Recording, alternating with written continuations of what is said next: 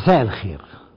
على جسر الانتقال الزمني ما بين سنة القلق 1969 وسنة الخطر 1970 وجدت نفسي على طائرة قاصدة إلى موسكو في زيارة سرية يقوم بها جمال عبد الناصر إلى الاتحاد السوفيتي. كان قد قال لي عن هذه الزيارة ونحن في الخرطوم ليلة رأس السنة الجديدة. وكنت أفكر كما أفكر في الاحتمالات وفي الإمكانيات وفيما يمكن أن يجري لكن يوم عشرين يناير كنا فعلا على الطيارة في هذه الزيارة السرية وكان الموعد هو فجر يوم عشرين في الجزء العسكري في آخر المدرج من المطار العسكري من مطار الماظة وعلى الطائرة كان لسه الفجر تقريبا يدوب بيمشي يعني بيتحرك والبداية ضوء الصباح بيطلع والجو في مطار الماظة في الجانب العسكري منه شوية جو آه زي ما بيقولوا جريم يعني جاد قوي أكتر من اللازم وفي الط... طلعنا كنا على الطائرة وجا جمال عبد الناصر وكنا الركاب كلهم تقريبا 25 الطائرة كانت جاية من الاتحاد السوفيتي قصد أن تجيء طائرة سوفيتية في ذلك الوقت حتى من باب السرية والحماية وصعد إلى الطائرة حوالي 25 راكبا. ال 25 راكبا كان فيهم في الجزء الأول من الطائرة كان في طبعا كان في مطرح الرئيس جمال عبد الناصر وكان في فريق فوزي وزير حربية في ذلك الوقت محمود رياض وزير الخارجية وأنا والسفير السوفيتي في ذلك الوقت سيرجي فينوغرادوف وهو غير فلاديمير فينوغرادوف الذي جاءنا فيما بعد تشابه الاسمين ولو انه ليست هناك قرابه بينهما. وبعدين في الجزء الثاني من الطائرة كان في عدد من القواد المصريين وعدد من القواد السوفيت اللي كانوا جايين يدرسوا بعض الموضوعات اللي طلبها جمال عبد الناصر. بالتحديد منهم كان في الجنرال جلوبيون وهو خبير في الدفاع الجوي وكان في أيضا خبير في العمليات البحرية وهو برتبة أدميرال وهو الكسي شيكوسكي. وفي مجموعة أيضا من الخبراء السوفيت الذين يعملون في مصر وفي أربعة من سكرتارية الرئيس وفي اثنين من أطباء. جمال عبد الناصر جاء طلع الطيارة وكان واضح إنه عنده برد عنده نوبة برد وجاله أحد دكاترة أحد الأطباء أول ما طلع واداله أظن دواء ما أعرفش إيه هو لكن حاجة تقاوم البرد لأنه كان عاوز يشتغل في فترة الطيارة. أول الطيارة طلعت لكن أول ما طلعت الطيارة وبدينا نبقى فوق الدلتا تقريبا جت معلومات بالفريق صادق رئيس أركان حرب في ذلك الوقت للفريق فوزي ان الإسرائيليين بدأوا عملية إنزال على جزيرة شدوان. وبدا الفريق فوزي رايح لبرج الطيارة مطرح ما بتيجي الرسائل المشفرة والسوفيت ما يعرفوش فيها إيه طبعا لكن هي جاية رسائل مشفرة وقائد الطيارة السوفيتي أو واحد من الملاحين المكلف بالاتصالات بيديها للفريق فوزي وبتتحل بسرعة بواسطة ضابط من الضباط اللي كانوا موجودين مع الفريق فوزي لكن عرفنا على طول إن في عملية إنزال وبدا الفريق فوزي يبدو عليه القلق. فريق فوزي جاء قعد معانا وبدأ يقول لجمال عبد الناصر إنه يخشى جدا أن تكون عملية الإنزال على شدوان هي مقدمة لعملية عبور إلى الشاطئ الآخر أي إلى الغردقة ثم من الغردقة إلى وادي النيل. جمال عبد الناصر استبعد هذا الاحتمال بعد قليل يعني وقال له إنه أنا لا أتصور إنه ممكن يعملوا عملية في نفس الوقت يعملوا عملية إنزال في جزيرة ثم يعملوا عملية عبور من هذه الجزيرة إلى شاطئ الغردقة. ثم يحاولوا يقطعوا هذا الطريق إلى وادي النيل عشان يعملوا عملية سبكتاكولر أو عملية استعراضية كبرى. هذا في منتهى الصعوبة. فريق فوزي اقترح إنه نرجع وإنه ينزل هو ويقود المعركة. وجمال عبد الناصر كان من رأيه إنه يسيب المعركة. اولا رئيس أركان حرب اللي معاه وهو الفريق صادق ثم أنه مطمئن إلى قائد جبهة البحر الأحمر في ذلك الوقت وهو الفريق الشاذلي اللي هو الشاذلي في ذلك الوقت. وقال له سيب الموضوع لل- للعسكريين يديروا معركتهم دون اعتراض لأنه إذا رجعنا هنعمل ربكة شديدة جدا سواء فيما نقصد إليه من رحلة موسكو أو إلى للقيادة الموجودة لأنه تقريبا هنشعرهم إنهم ما يقدروش يتصرفوا لوحدهم يعني. وأظن إنه هذا كان تقدير صحيح لأنه المعركة استمرت. معركة النزول على شدوان واظنها كانت معركة هائله والاسرائيليين اضطروا ينسحبوا كانت عملية بيحاولوا يحتلوا جزيرة قدام الغردقة قدام ساحل البحر الأحمر ويتصوروا إنها ممكن تبقى مصدر إزعاج دائم. لكن على حال في موسكو بعد كده تلقينا أخبار ان العملية انتهت. لكن أول ما خلصت النص ساعة الأولى في الطيارة تقريبا راحت في موضوع شدوان وما جرى في شدوان. وبعدين جمال عبد الناصر طلب سكرتيره سيد محمد أحمد في ذلك الوقت وجاب له شنطة بتاعته وطلع منها جمال عبد الناصر تقرير هو كاتبه بخط إيده عن سلسلة لقاءات مكثفة عملها هو مع كل الخبراء السوفيات استعدادا لرحلة موسكو. في كانت ميزة هايلة فيه إنه راجل بيعمل الواجب بتاعه الهوم ورك زي ما بيقولوا راجل بيعمل الواجب اللي عليه ويدرس موضوعاته قبل ما يتكلم.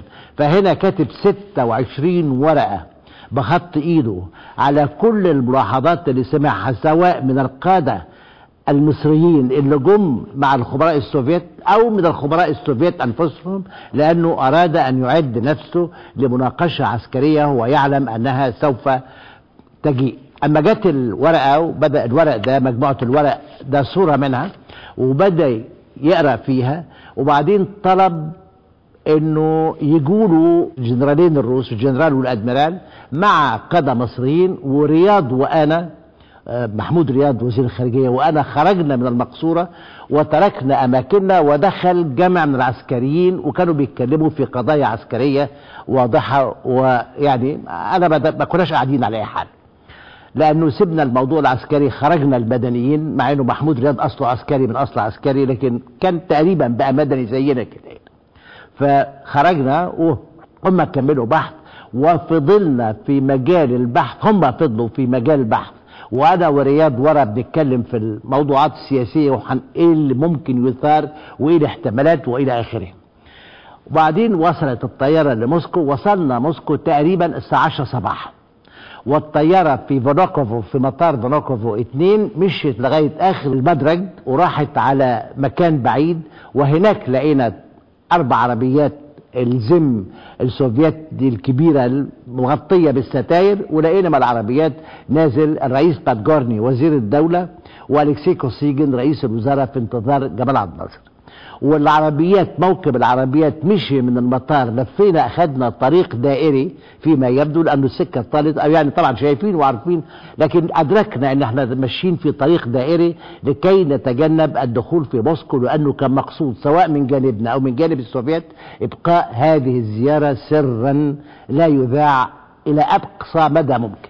لأنه هتبقى فيها كلنا كنا متحسب كل الناس يعني كانت متحسبة إنه هذه زيارة لها معنى خاص في هذا الوقت. اولا بعد كل ما جرى في التصعيد على الجبهة في غارات العمق في الثورة الليبية في كل في تصاعد في الحوادث واضح إن إحنا مقبلين على مرحلة فيها نوع من المسائل بتنشط والحوادث بتأخذ اتجاه مندفع بشكل أو آخر. وصلنا إلى تلال لينين على نهر الموسكوفا في الناحية الثانية من موسكو من مدينة موسكو. إلى الفيلا رقم واحد اللي كنا فيها المرة قبل كده زيارة قبل كده وعلى الباب كان موجود بريجنيف ليونيد بريجنيف زعيم الاتحاد السوفيتي في ذلك الوقت ومع المارشال جريتشكو وزير الدفاع. وبريجنيف حس إنه جمال عبد الناصر قالوا له أو حس إنه جمال عبد الناصر تعبان فاقترح إنه نخلي الجلسة بكرة فجمال عبد الناصر قال لأ دلوقتي إحنا تقريبا بقينا الساعة 11 وإحنا ممكن قوي هنريح شوية لكن هنبتدي الساعة 3 بعد الظهر النهارده. لأنه يعني اولا ما فيش وقت وبعدين إذا كنا عاوزين نحافظ على سرية المحادثات فأهم حاجة إنه إنها لا تطول مدتها لا تطول. وأنا هو بيقدر كان وقتها إنه ليس أكثر من يومين. لأنه ممكن قوي السر يذاع في ذلك الوقت أو يتعرف بمقدار ما تتعرض أي حادثة أو أي لقاء أو أي أي شيء لمدة أطول بمقدار ما كان فيه فرصة أكتر إنه أمره ينكشف ويعرف ويذاع. إحنا عملنا تعملوا ثلاث جلسات. في جلسة مسائية وفي جلسة صباح اليوم التالي وفي جلسة في جلسة مسائية في نفس يوم الوصول. في جلسة صباحية صباح اليوم التالي وفي جلسة مسائية في مساء اليوم التالي وبعقبها عشاء. لكن في الجلسة الأولى بدأ جمال عبد الناصر على طول بيشرح ماذا إيه الوضع على الجبهة. أولا شرح إيه الوضع في المنطقة وبدوا هم يسألوا عن اللي حاصل في العالم العربي واهتموا بموضوعين. الموضوع الأول هو موضوع ما الذي جرى في ليبيا وهل كنا على علاقة به وما هي اتجاهات النظام هذا النظام الجاي في ليبيا واللي جاي على موقع استراتيجي في منتهى الأهمية على البحر الأبيض وبموارد بترول واضح أنها لها أهمية وأهمية موارد البترول الليبي وأنا شرحت هذا هي قربه من أوروبا وأهميته في أنه هو ده بترول طائرات بالدرجة الأولى. والاتحاد السوفيتي بشكل أو آخر مستغربين جدا مما جرى. لفت نظرهم اللي جرى في السودان قبل كده لكن ما كانش بيعلقوا عليه كتير. لكن ما جرى في ليبيا كانوا مهتمين بيه جدا. وبعدين الموضوع الثاني اللي هم اهتموا بيه هو موضوع مؤتمر القمه وبعدين حرب الاستنزاف. بدأ جمال عبد الناصر بيتكلم بيقول أول حاجة إنه إحنا الأمور على الجبهه أنا بعتقد إنه إحنا قد لا نكون عملنا معجزة لكن على وجه اليقين عملنا شيء مرضي وعندكم تقارير كل الخبراء. ونحن نعتقد إنه الآن جاء الوقت أنتوا اتكلمتوا في العمل السياسي لفترة طويلة. ونهايه العمل السياسي كما زي ما اتصلتوا وبتفويض مننا مع الولايات المتحدة الأمريكية فات عليها مدة طويلة قوي وقد وصلنا إلى اللي بيسموه مشروع راجرز. مشروع راجرز بالنسبة لنا إحنا لم نعلن في رأيي لأن إحنا عاوزين مسألة نصه لأول مرة على الانسحاب الكامل تبقى موجودة لكنه بقية المشروع في حاجات فيها نحن لا نستطيع قبولها.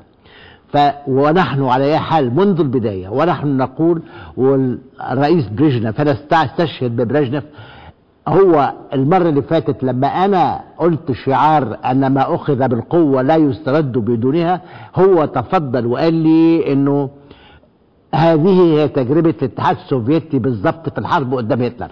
وهو بيقول أنا أظن أنه مهما كان العمل السياسي مهم فالعمل السياسي مهم جدا. أولا لتغطية فترة كان ضروري فيها أن نعيد الاستعداد والحاجة الثانية أنه كان ضروري جدا لإقناع العالم بنوايانا السلمية وأن إحنا مستعدين لكنه الآن نحن وصلنا إلى موقف نحن نعتقد أنه سوف يتصاعد وبالضروري أن يتصاعد. وأنتوا سمعتوا قبل كده مننا وإحنا اتكلمنا في هذا كله وخبراءكم على حال موجودين معنا وهم على اتصال إلى حد كبير جدا بما يجري على الجبهة. لكنه غارات العمق النهارده. عندنا مشكلة كبيرة جدا. عندنا مشكلة دفاع جوي في غارات العمق لأنه غارات العمق ممكن جدا أنا بت بت تهدد أهداف حيوية ممكن تهدد أهداف حيوية. إحنا رفعنا كفاءة القوات المقاتلة على الجبهة إلى درجة أرغمت الإسرائيليين على إنه يعيدوا التفكير في في مواجهة من نوع آخر. لأنه وإحنا قدامنا كل التقارير وهو كان في معاه تقارير بالفعل من في من هذا النوع. وهم كان عندهم هذه التقارير لأنه ما كانتش معلومات سر. المعلومات كانت جاية من إسرائيل إنه الشباب الإسرائيلي بيهرب من الحرب على الجبهة مش عاوز يروح الجبهة. لأنه كان في تغيير حاصل في المجتمع الإسرائيلي بعد 67 ناس كتير قوي لازم تدركوا المجتمع الإسرائيلي بعد 67 أصابته نوبة غرور وأصابته نوبة إنها انتهت الحرب. وخلاص حققوا النصر الذي ينهي كل حروب وبدأ يبقى في شباب مش مستعد يموت في في إسرائيل مش مستعد يموت. حاجة الثانية إنه تكاليف الدفاع بحرب الاستنزاف بدأت ترتفع من تكاليف سنوية قدرها سنة 68 مصاريف ميزانية الدفاع كانت 260 مليون دولار في ذلك الوقت وهي الآن زادت قاربت على 700 مليون دولار 680 مليون دولار بالضبط. طبقا لأرقام موثوقة من البنك المركزي الإسرائيلي ما فيهاش سر. وهذا بسبب تصاعد العمليات. فالإسرائيليين أجزاء أولا كفاءة من ناحية القوات المصرية أعباء نفسية على الشباب الإسرائيلي أعباء مادية رأوا أنه ينقلوا المعركة إلى العمق. وفي معركة العمق نحن بوضوح نواجه مشاكل. لأنه ببساطة دخول الطائرات الفانتوم في معارك العمق وقدرتها على الطيران المنخفض عمل لنا مشكلة. صواريخ الدفاع الجوي اللي عندنا كلها اللي إحنا خدناها منكم كلها هي سام اتنين. سام على فكرة ما هيش كلمة روسية ولا حاجة. سام هي surface air missile صاروخ من الأرض إلى الجو. فسام اتنين اللي إحنا خدناه منكم ده واللي إحنا استعملناه طول الوقت بيصلح جدا للارتفاعات العالية فوق 500 متر. لكن الاسرائيل ما بيجوش فوق أهداف الحيوية عندنا في العمق في هذا الارتفاع. بينزلوا بالطيران واطي جدا وبيضربوا ضربات في سواء على مواقع حيوية زي ما حصل في نجع حبادي أو على أهداف مدنية زي ما حصل حتى في مدارس وفي منشآت مستشفيات حتى يعني. لأنه في هدف ترويع المدنيين إلى جانب هذه الأهداف الحيوية. ونحن نطلب نوع آخر من الصواريخ. نحن نعلم إنه موجود عندكم وهو سام 3 سام 3 صالح طبقا لمعلوماتنا. اولا هو متحرك الحاجة الثانية وهي المهمة جدا إنه قادر أن يغطي فجوة ال 500 متر فوق سطح الأرض لأنه سام 2 طالع لغاية في لغاية أي ارتفاع ممكن لغاية 4000 متر و5000 متر مرات. لكن سام 3 هو اللازم لتغطية هذه الفتة هذه المسافة من الارتفاعات المنخفضة وهذا ما نريده. ونحن نعلم أنه عندكم في هذه اللحظة طلع كصيجن قال أنه يستحيل. ده أولا ده لسه تحت التطوير ولم يدخل في الخدمة. فبريجنف في ذلك الوقت قاطع رئيس وزرائه وقال له انتظر لما الرئيس ناصر يفرغ من كل يكمل كل كلامه.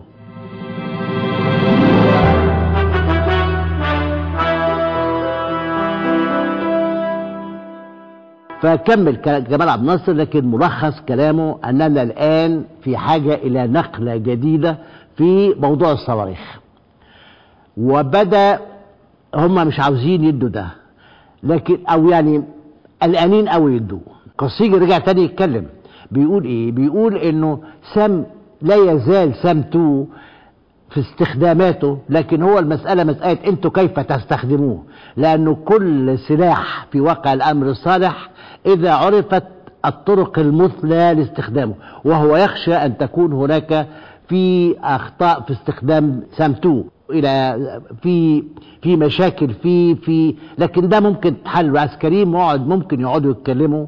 جمال عبد الناصر كان واضح إنه عنده معلومات واضحة عن سام 3 وهو معتقد وهو مصمم على الحصول عليه في نهاية هذه الجلسة بريجنف قال قال لجمال عبد الناصر قال صديقنا وأنا كاتبها صديقنا ناصر يريد أن يحصل على كل ما يريد ونحن نريد أن نعطيه أو نقدم له كل ما يحتاجه. وهنا في فرق بين ما يريد وما يحتاجه. فاتفق على أنه في فترة المسا العسكريين ما يتعشوش ويقعدوا مع بعض العسكريين مش هيحضروا معانا العشاء بتاع اليوم الأول في, أو في اليوم الأول عشاء في اليوم الأول وإنما هم يقعدوا يبحثوا هل نقطتين مهمين جدا. نمرة واحد هل يمكن أن تكون هناك استخدامات أخرى نحن لا نعرفها فيما يتعلق بسام اثنين؟ العسكريين بتوعنا كانوا قاطعين في إنه نحن استنفدنا كل وسائل فيه وهو لا يصلح قطعا للطيران المنخفض لمواجهة الطيران المنخفض على الأهداف الحيوية خصوصا محارب العمق غارات العمق بتدخل في مرحلة كبيرة جدا واستشهد جمال عبد الناصر بأنه نوايا الإسرائيليين حتى في محاولة النزول في شدوان قد تكون تعطي إشارة واضحة إلى أنه عاوزين يهددوا أهداف حيوية في الصعيد وبالتحديد في ذهنه السد العالي.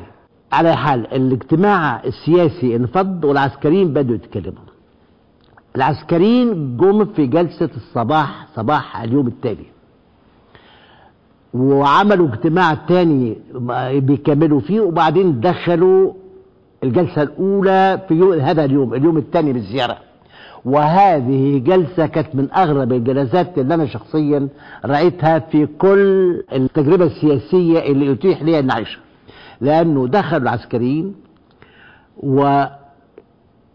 والعسكريين بدأ إن في بينهم إنهم العسكريين السوفيت حطوا مشكلة كبيرة جدا. هذه المشكلة بيقولوا إيه؟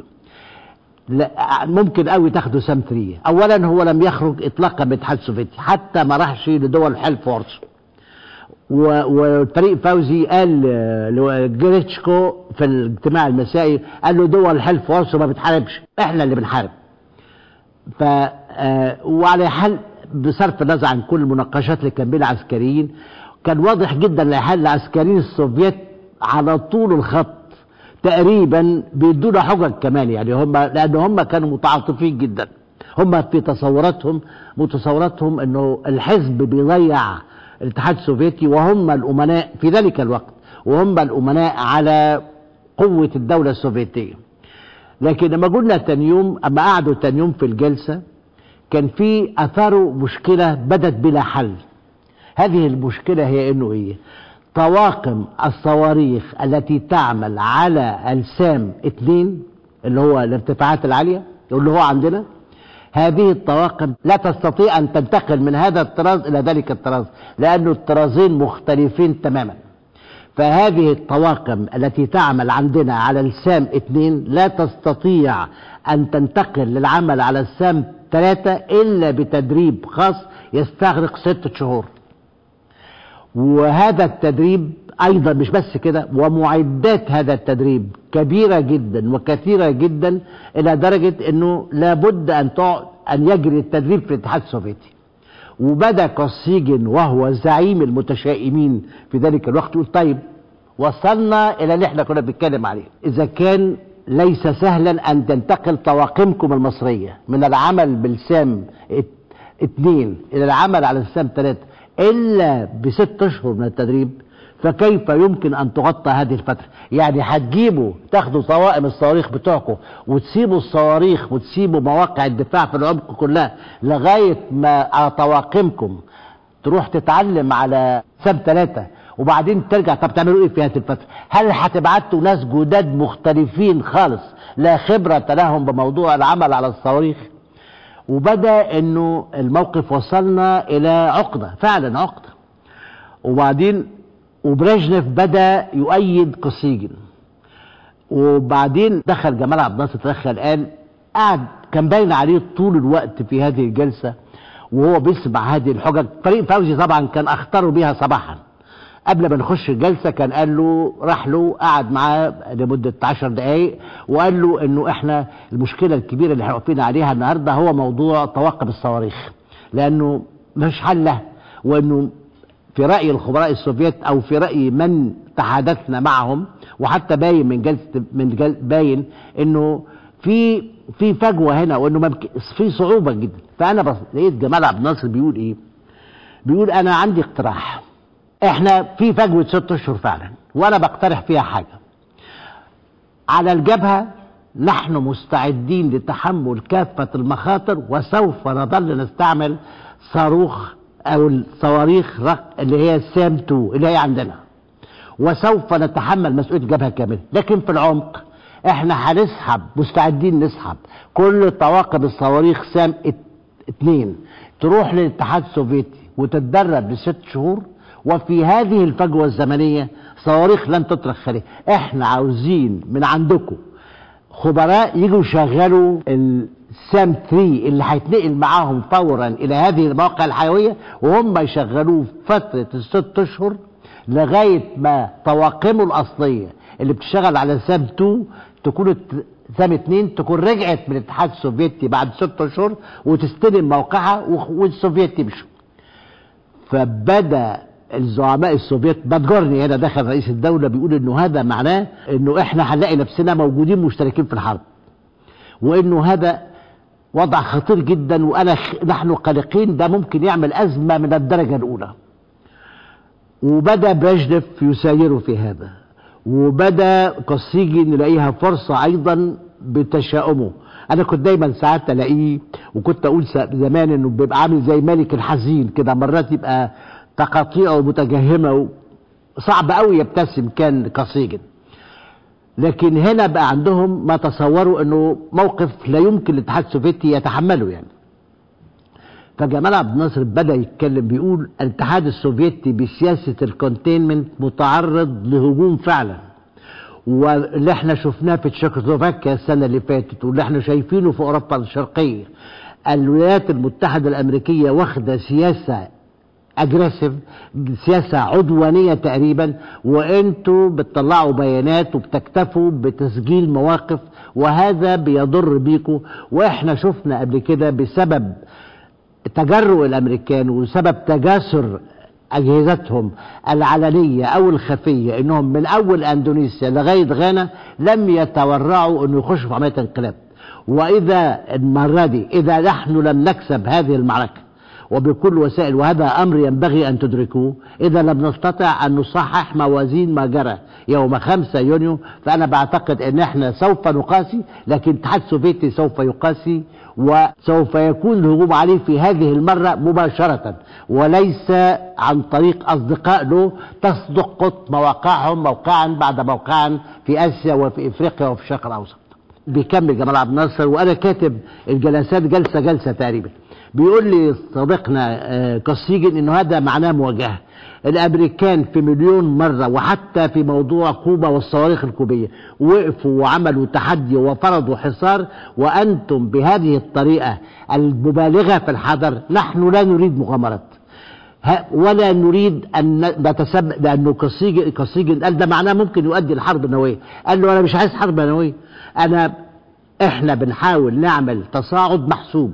وأنا لا أعتقد وحتى لو أنتوا اضطريتوا لو اضطريتوا أنتوا موجودين في الدفاع عن مواقع عمق مدنية ولمدة ستة أشهر وأنا لا أريدكم أكثر من ذلك. لا أريد لا أطلب منكم أكثر من ذلك.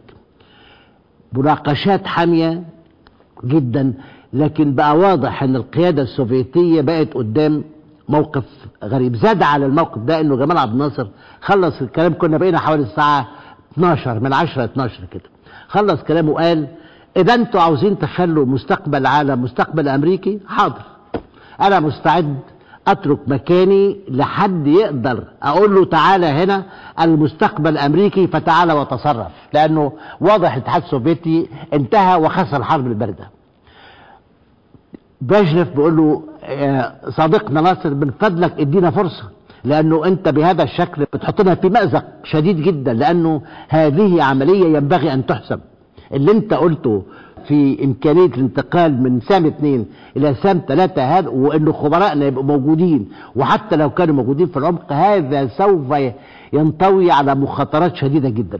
الغريبة جدا كان قالوا عاوزين فترة بعد الظهر فترة الظهر وإلى المساء يدونا يديهم فرصة لغاية ما يقدروا يبحثوا وقالوا وكان صحيح انه هيجيبوا المكتب السياسي كله لكي يناقشوا موضع مو- مسألة خطيرة وهيجيبوا أيضا هيدعوا أيضا لاجتماع كل مارشالات الاتحاد السوفيتي. إحنا رجعنا على فيلا رقم واحد في تلال لينين وبعد ما رجعنا بعد ساعة مراد غالب سفيرنا في موسكو في ذلك الوقت كان عمال رايح جاي بين الجيمنيزيوم حيث القادة السوفيت بيجتمعوا وما بيشوفش حد من القادة السوفيت لكن بيقابل سيمانوف وكان وكيل وزارة وبيحاول يشوف إيه, إيه الأجواء. لكن على بال الساعة ثلاثة ثلاثة بعد الظهر كمية طيارات الهليكوبتر اللي جاية تنزل ورا الجيمنيزيوم لأنه كان في helipad كان في مهبط طائرات هليكوبتر ورا الجيمنيزيوم في كميات طائرات لا يتوقف هديرها. طائرات هليكوبتر جاية ومراد غالب جاي بيقول إنه مارشالات كتير قوي جايين وإنه سمع إن المكتب السياسي جاي وإنه شاف هناك شيبيشاستني واحد من أعضاء المكتب السياسي اللي هو بيعرفهم وشافوا على مدخل الجيمنيزيوم وإنه واضح إنه في اجتماعات على مستوى أعلى مستوى في الاتحاد السوفيتي ومستوى طوارئ لأنه فيها تقريبا المكتب السياسي كله وكل مارشالات الاتحاد السوفيتي. كنت بقول غريبة قوي إنه آخر واحد جاء ويبدو إنه جاء على عجل لأنه جاء الجلسه الثالثه منعقدة وهو أدميرال جورشكوف قائد الاساطيل الروسية والرجل المجنون بالبحر الأبيض وأنا وقفت وشفته بعدها يعني بعد.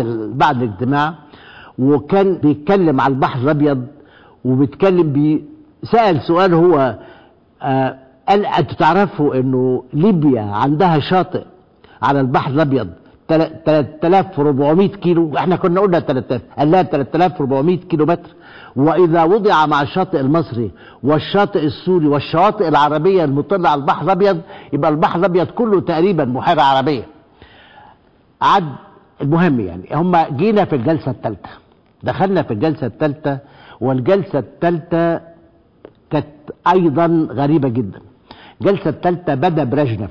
بيقول لجمال عبد الناصر بيقول له الاتحاد السوفيتي اتخذ قرارا على أعلى مستوى من أخطر القرارات اللي اتخذها في عمره بعد الحرب العالمية الثانية. لأنه نحن أمام تصعيد نحن نعلم أهمية الشرق الأوسط ونحن ندرك كل اللي انت قلتوه ونحن لا نريد لهذا الموقع التحرري العربي أن يوضع في مأزق. ونريد أن نساعد العرب بكل وسيلة ونحن ندرك زي ما قال صديقنا ناصر إنه في هذا كله جزء من جزء من دفاعنا عن الاتحاد السوفيتي. ونحن سوف ندخل لكن في هنا في مجموعة قضايا لابد أن نتفق عليها. نمرة واحد إنه الاتحاد هتروح قوات سوفيتيه حت... حن... إحنا كلمنا وهنتخذ إجراءات اتفقنا على المبدأ وصباح غد قبل ما تسافروا هنكون أبلغناكم بشوية تفاصيل لكن نحن اتفقنا على إنه الاتحاد السوفيتي إنه الكلام اللي أنتم قلتوه كله كلام معقول جدا وإنه تغطية هذه الفترة بالعمق في الدفاع عن العمق والتي تقتضيها ضرورات تعليم طواقمكم العاملة على سام اتنين على الصاروخ الجديد سام ثلاثة. هدول كلهم هيروحوا الاتحاد السوفيتي يتدربوا لمدة ست أشهر وإحنا عندنا خبراء أو قوات هتحل محلهم وتتولى لكن عاوزين نبقى واضحين إن إحنا داخلين فقط في الأهداف الحيوية والمدنية.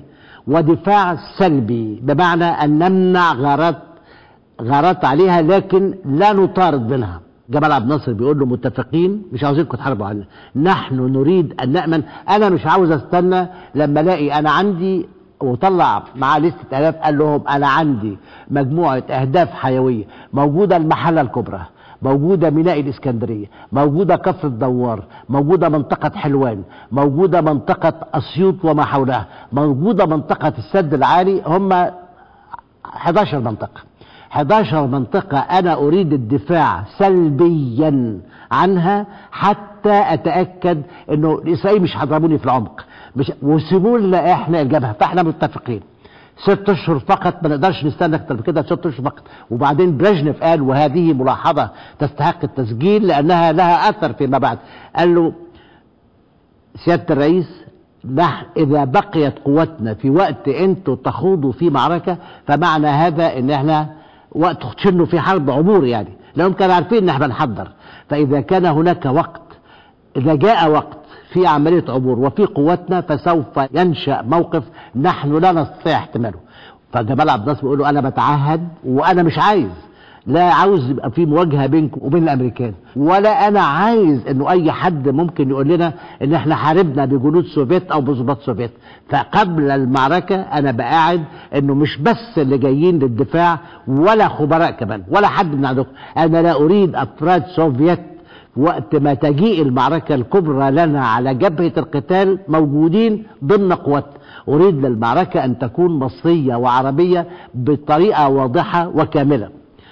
الحاجة الثالثة اللي هم كانوا أنه يعني كيف يمكن أن يكون رد فعل الجماهير المصرية في هذا فقال له جمال عبد الناصر قال له أنا أدرى بالجماهير المصرية وما عنديش مشكلة فيها فأنا أنا أدرى بيها وأنتوا يعني المهم حصل اتفاق يبدو إنه لا يكاد يصدق لأنه في في تطور بقى حاصل بعد. الاجتماع. الاجتماع بقى باين إنه في نتائج مهمة جدا. في عشاء بعد كده برضه في الجيمنيزيوم كان. فانتقلنا من قاعة اجتماعات طلب الرئيس عبد الناصر طلب نص ساعة بس ترفرش يعني يغسل وشنا ونرجع تاني على العشاء. ورجعنا على العشاء وبعد العشاء كان واضح إنه في قرار مهم قوي اتخذ وإنه في تطور وتصعيد في الحرب في معركة الاستنزاف وفي حضارات العمق وفي موقف على الجبهة لأنه ببساطة كده إن الاتحاد السوفيتي ياخد أو أو أو قوات سوفيتية تاخد الدفاع السلبي عن العمق لمنع تدمير أي حاجة دون أن تطارد. مش عاوزينها تطارد. مش عاوزينها تاخد حاجة دفاع نشيط. مش مطلوب دفاع نشيط. ده معناها إنه بقى ممكن قوي لصانع القرار المصري يركز على الجبهة. حتى أنا شفت الفريق فوزي يعني راجل سعيد جدا إنه الجبهة هتبقى هي همه والدفاع الجوي قيادة الدفاع الجوي كانت موجودة وممثله في الاجتماع ده إنه همهم هيبقى هم كله على الجبهة والعمق مش هيبقى مسؤوليتهم في الفترة هنا بصرف النظر دفاع نشيط دفاع سلبي المهم أن لا تصاب أهداف مدنيه أو يبقى في حماية عليها. قاعدين على العشاء أنا مش واخد بالي لقيت جاي ما خدش بالي اطلاقا حد بيحط إيده على كتفي من ورا لقيت بريجنف بي بيقول لي هم عادة لما يعني حد يبقى تقرب منه تقرب منه товарищ الرفيق. ما قاليش يوميها товарищ ولا على حال عمره ما قالها لي. لكن قال لي господин هيكل. أنا مستر تشيرمان سيادة الرئيس رحت تحت أمرك. بيقول لي جاسبادين هيكل كل الكلاب هتعوي ابتداء من الغد. بيقول لي عن طريق المترجم طبعا. في مترجم معاه فالمترجم بيقول لي كل الكلاب سوف تعوي ابتداء من غد. قلت له خير إن شاء الله. إيه الكلاب اللي هتعوي دي كلها؟ فبيقول لي بكرة الصحافة العالمية كلها إذا تسرب الخبر عندما يتسرب خبر ما اتفقنا إليه فسوف تعوي كل الكلاب في الصحافة العالمية. وبيقول لي جاسبارين هيكل أنت بتعرف الصحافة الغربية أكتر مننا وبتعرف الإعلام الغربي أكتر مننا. وأنا عارف أنت يعني كان كتر خيره يعني. فأنا قل لي أرجوك تفكر في خطة كيف يمكن عندما يتسرب هذا الخبر. ونحن سوف نفعل كل ما في وسعنا للحفاظ عليه سرا. لكن عندما يتسرب كيف تكون خطة مواجهته اعلاميا؟ أنا عايز اترجاك هو بيقول؟ عاوز أترجاك إنك أنت تفكر في هذا جديا وتقولوا لنا قول للسفير إيه إيه كيف يمكن مواجهة الإعلامية في الصحافة العالمية؟ لأنه قد نواجه بمشكلة كبيرة ويرفعوا درجة حرارة الأزمة اعلاميا وهم عندهم الكفاءة بهذه الطريقة. قلت له يعني حاضر مش مشكلة. وكتبت على هذا كله في هذا الوقت في Road to Ramadan في كتاب Road to Ramadan نشرته الساندي تايمز كاملا. حكيت المشكلة دي حكيت القضية دي وفي كتاب Sphinx and Commissar حطيت كل التفاصيل الخاصة بهذا الاجتماع السري أو جزء منها ما كان يمكن أن أقوله في ذلك الوقت. لكن بقى واضح إن إحنا قدام حكاية كبيرة قوي. تاني يوم أبلغونا هم أبلغونا بعدة أشياء. الحاجة الأولانية إنه أختير لقيادة العملية القادمة عملية الدفاع الجوي السلبي. هم كانوا مصممين على السلبي وإحنا ما كانش عندنا مانع. لكن تصميمهم بدأ حتى نوع من طبقنة النفس. إنه اختاروا الجنرال سميرنوف وهو واحد من خبراء الدفاع الجوي المشهود لهم وإنه هو ده كمان أيضا هو أكثر واحد كان موجود حتى في تصميم السام 3 اللي هو هيجي لنا. سام 3 الصاروخ الجديد المتطور والمتحرك والقادر على مواجهة الارتفاعات المنخفضة ده هو اللي هيبقى مسؤول عن العملية. واختاروا جريتشكو يظهر ومجموعه العسكريين سهروا يظهر لغاية الفجر بلغونا بيها الحاجة الثانية إنهم عرفنا إنهم سموا العملية اسم رمزي وهو قوقاز. لكي تبدو حتى قدام القوات السوفيتية أن الموضوع لا علاقة له قوي مش بس مصر يعني ومش بس الشرق الأوسط لكن هو أيضا جنوب الاتحاد السوفيتي. إذا حدث ضرر واسع النطاق وإذا حقق الأمريكان ما يريدوه في موضوع في الشرق الأوسط إذا فسوف ينكشف القوقاز. فاختاروا الاسم الرمزي قوقاز لهذه العملية.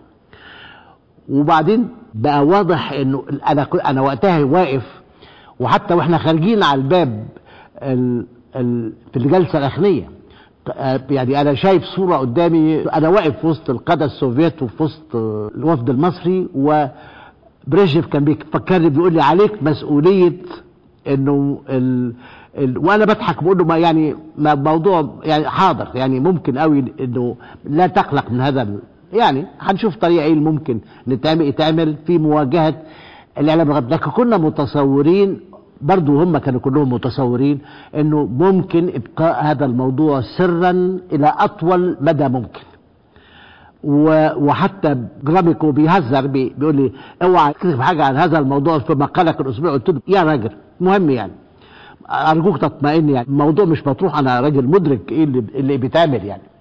لكن مارشالات الاتحاد السوفيتي كلهم أنا كنت شوفهم في ذلك الصباح شفناهم على الفطار لأنه فطرنا مع بعض قبل ما نمشي.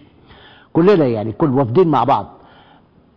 أعضاء المكتب السياسي والقيادة السوفيتية ومارشال الاتحاد السوفيتي وأدميرالاته عدد يعني أنا شخصيا عمري ما شفت هذا العدد كله من المارشالات قد ما شفت في ذلك الصباح يعني وبقى واضح إنه السياسيين بقى واضح إنه السياسيين مدركين إنهم أقدموا على قرار بالغ الخطورة وكلهم متحسبين لرد الفعل الامريكي. حصل حاجة في منتهى الأهمية في هذا الصباح برضه إنه جراميكو جاي بيقول وإحنا واقفين بيقول إنه كانت الجلسات تقريبا كلها خلصت بيقول إيه؟ بس بريجنف كان واقف كاسيجن كان واقف بادجورني واقف محمود رياض واقف فريق فوزي واقف وأنا واقف. جراميكو بيقول بس إحنا دلوقتي عندنا مشكلة كبيرة قوي لأنه إحنا أنا خايف الأمريكان أول ما يعرفوا إحنا اللي أنتوا سبتوا لنا المحادثات السياسية معاهم في الفترة الماضية كلها. ووصلوا لمشروع راجوز لما نرجع نستأنف المحادثات بعد كده بعد اجتماعنا ده وهنستأنف المحادثات طبعا لأنه في نيويورك في اللجنة الرباعية شغالة. فجمال عبد الناصر بيقول لجروبيكو وأنا قال له لا خلاص أنت ما تقلقش من المحادثة السياسية إحنا هناخدها.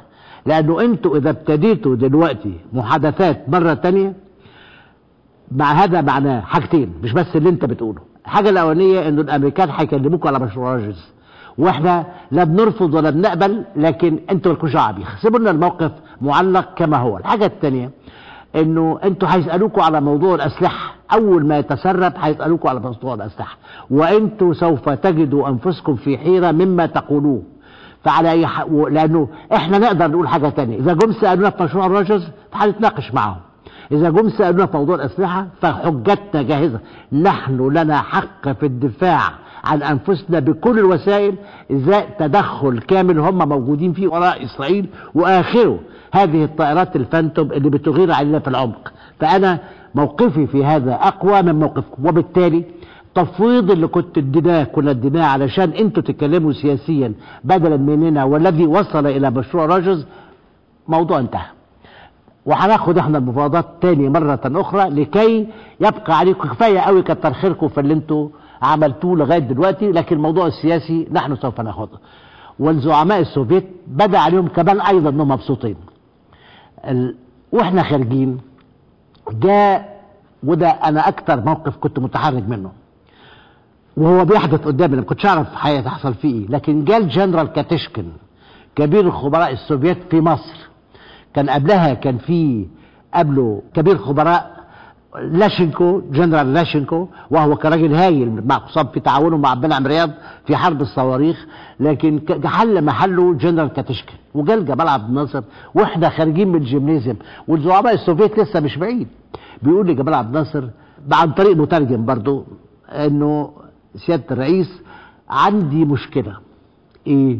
بيقول له جمال عبد أي مشكلة بحياتي قال له خبرائنا الموجودين وظباطنا الموجودين من الاتحاد السوفيتي واللي هيروحوا في ال... في التقييم اتفقتم عليه بيحسوا إنهم زي جنود عصابات لأن كنتوا بتمنعوهم من أن يرتدوا ملابسهم السوفيتية ملابس الرسمية للجيش السوفيتي. وكلهم بيلبسوا overall بدون علامات رتب. ويبقى الجنرال زيه زي الشاويش ما بيبانش. ف كرامة البدلة السوفيتية وكرامة الجيش السوفيتي إنه ضباطه يبقوا موجودين معاكم في مصر ومع ما اتفقنا عليه بهذا الشكل ويبقوا مضطرين يلبسوا اوفر اول حاجات زي العفريتة بتاعت العمال زي ما بيسموها يعني. فكلهم بيكلموني بيقولوا إذا كان ممكن تسمحوا لهم يبتدوا ملابسهم العسكرية الرسمية لأنه مش عاوزين يحسوا إنهم جيران العز كلمته. مش عاوزين يحسوا إنهم بيحاربوا حرب عصابات.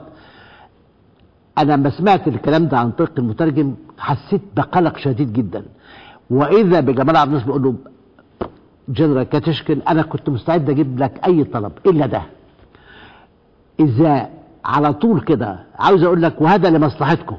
إذا زي حد من ضباطكم ارتدى بدلة عسكرية وهو موجود في مصر. يباشر مهامه في الدفاع عن العمق فليس هناك ما يمنع الشعب المصري أن يقارن ما بين وجودكم عندنا وما بين وجود البعثة العسكرية البريطانية في مصر قبل الثورة. وأنا لذلك أنا بقول لك وراح ناده آه بريجنف وقال بالمترجم مستر تشاب سيد سيادة الرئيس أنا جنرال كاتشكن طلب مني هذا الطلب وأنا اعتذرت عن قبوله وشرحت له الأسباب. وأسبابي هي كذا. بريجنف وقف لأنه إحنا لسه متفقين.